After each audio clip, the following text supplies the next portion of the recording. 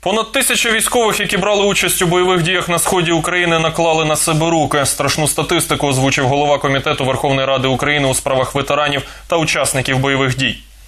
В Украине уже более тысячи людей, которые воевали недавно в АТО, закончили суицидом. Эта война в корне отличается от войны, которая была в Афганистане. В Афганистане была война, которая применялась в основном стрелковое оружие. На этой войне применяется артиллерийское оружие. И, естественно, все психологические травмы это связаны больше с этим. Відповідно, в Україні вкрай необхідно створити всі умови, аби ветерани після повернення у мирне життя почували себе комфортно. Як показує світова практика, інтегрувати ветеранів до мирного життя допомагає робота. Завдяки праці, чи то фізичній, чи то розумовій, колишній боєць відчуває себе потрібним у цьому світі, але часто тут є складнощі.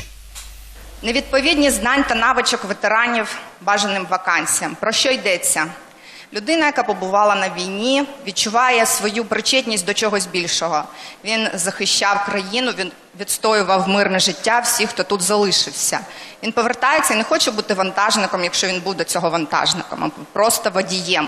Хочеться робити щось значуще, а навичок, знань, вмінь для цього поки що немає.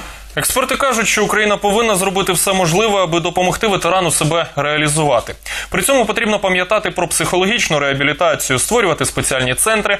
Самі ветерани наполягають, фахівці мають більш серйозно ставитись до цього і не соромитись звертатись по допомогу.